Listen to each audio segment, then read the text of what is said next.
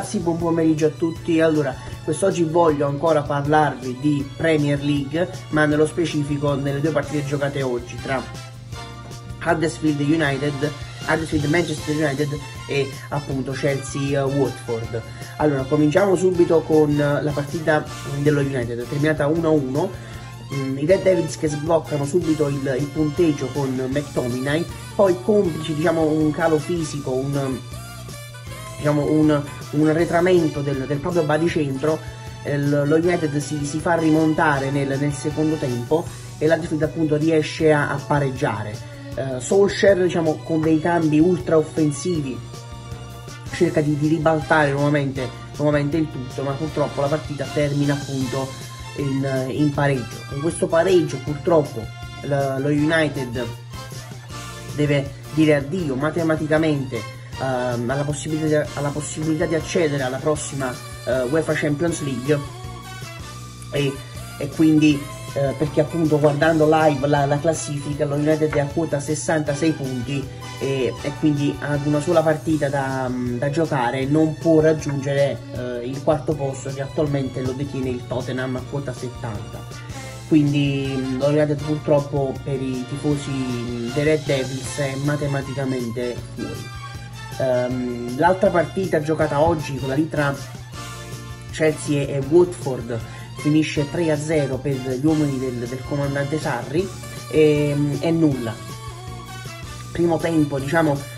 e anche il secondo, è stata una partita in cui in generale um, entrambe le squadre non si sono fatte mettere sotto dall'altra, cioè nel senso ogni, entrambe le squadre ribattevano colpo su colpo, mm, diciamo, mm, non, nessuna delle due ha avuto un vero e proprio controllo uh, della partita nei confronti del, dell'avversario, entrambe attaccavano, uh, subivano, poi controattaccavano con delle, con delle ripartenze.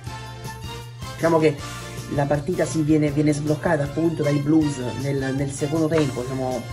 um, all'inizio del secondo tempo um, su, su, un, calcio, un calcio piazzato, segno Loftus Chic che subentra a Nicolo Kanté che nel primo tempo aveva avuto un, un infortunio muscolare. Speriamo per lui, spero ovviamente per lui, um, non sia nulla di grave perché appunto il Chelsea, a parte l'ultima di campionato contro il, il Leicester, ha ancora ehm, giovedì prossimo la, il ritorno contro il Eintracht Francoforte da giocare, quindi è, è un giocatore inevitabilmente importante per, per, il Chelsea, quindi spero per Kanté non sia nulla, nulla di grave. Nel, poi diciamo il raddoppio blues eh, sempre sul calcio d'angolo um, assegno David Luiz e poi intorno al settantesimo, sessantacinquesimo il, il Watford ha delle occasioni insomma per cercare di riaprire l'incontro ma purtroppo non eh, Kepa chiude più volte la, la, la, propria porta e quindi si rimane sul, sul doppio vantaggio per, per, i Blues. Blues che con Pedro eh, in, diciamo, in sacca insomma in, inserisce per, per Higuain che fa il solito taglio alle spalle dei, dei difensori avversari e segna appunto il, il 3-0 che chiude definitivamente la partita. Chelsea che sempre guardando la classifica è, sale al terzo posto complice, a 71 punti complice anche diciamo, um, la sconfitta del, del, Tottenham ieri contro, in trasferta contro, contro il Bournemouth e quindi diciamo, non è ancora matematicamente in, qualificata in Champions Uh, perché appunto tutto bisognerà, mh, mm, tutto si deciderà in base a, a quello che farà l'Arsenal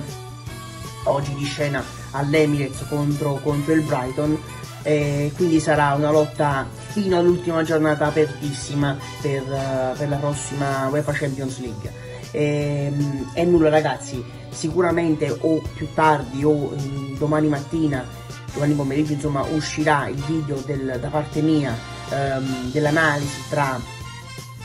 la partita che si giocherà stasera tra Napoli e Cagliari e, e quindi ci vediamo al, al prossimo video.